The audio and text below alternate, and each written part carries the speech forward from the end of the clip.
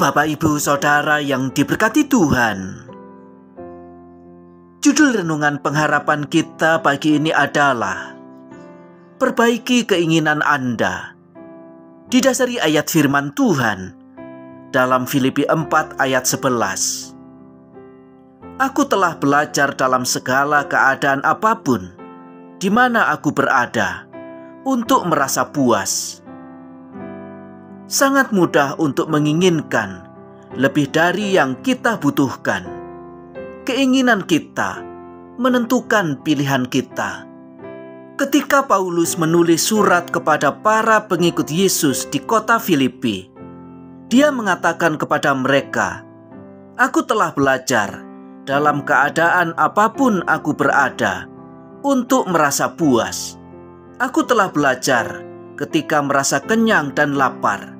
Berkelimpahan dan berkekurangan. Filipi 4 ayat 11 dan 12. Penting untuk dicatat bahwa Paulus tidak dilahirkan dengan perasaan puas. Dia mempelajarinya dalam keadaan sulit dalam kehidupan sehari-hari.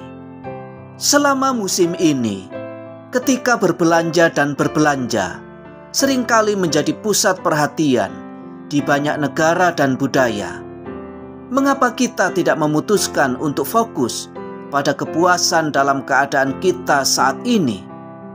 Mungkin terdengar sulit, namun Paulus ketika berbicara tentang belajar untuk merasa puas berkata, segala sesuatunya dapat kulakukan. Kepuasan dimulai dengan berkurangnya keinginan.